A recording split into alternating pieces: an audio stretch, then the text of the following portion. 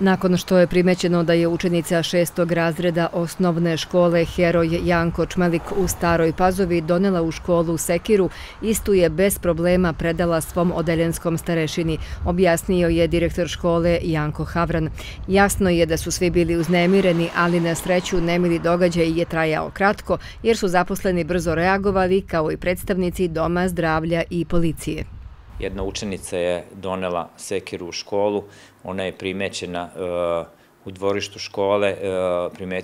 primetili su je dežurni nastavnici i pomoćno osoblje koje je dežuralo, koje je bilo na svojim radnim mestima i uh, školski policajac je takođe ovaj bio tu na svom radnom mestu. Oni su je primetili i razredna koja je bila dežurna tog dana sa kojim, koja sa da, učenicom ima izgrađeno poverenje, joj je oduzela i ona je svoje, svojevoljno dala tu sekiru i od tog momenta je sve ovaj, bilo pod kontrolom. Nastava nije prekidana, a usledio je postupak prema predviđenoj proceduri o pojavi nasilja u školi i povredama obaveze učenika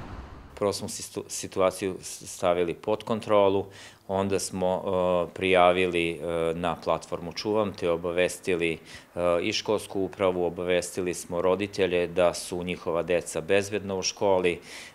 da je sve pod kontrolom, nastavnici su obavešteni, odmah su zasedali timovi, timovi za krizne situacije, tim za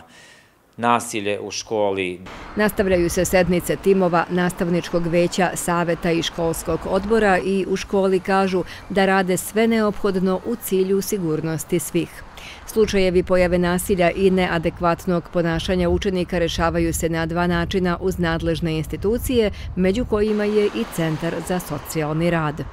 Jedan pravac je da ukoliko E, škola ili e, policija ne može da dobije roditelje e, da budu prisutni tu davanju izjava deteta, procesuiranju deteta u neke zdravstvene ustanove, onda se uključuje Centar za socijalni rad na lice mesta. Znači, ukoliko je roditelj sprečen ili odbija da sarađuje, znači u tom slučaju se poziva Centar za socijalni rad koji bude tu sa detetom i učestvuje i u odvođenju deteta, znači ovaj, po potrebi, ako je potrebno odvesti ga u neku zdravstvenu ustanovu i tako dalje. Ukoliko je roditelj saradljiv, E, može da odgovori na potrebe deteta, e, onda obaveš, centar obaveštavaju nadležne institucije kao što je škola, konkretno u ovom slučaju policija, e, gde se centar uključuje u rad sa porodicom. Kada dođe do ovakvih događaja, najvažnije je da roditelji i deca sarađuju sa nadležnim institucijama kako bi se problem prevazišao, preporučuju stručnjaci.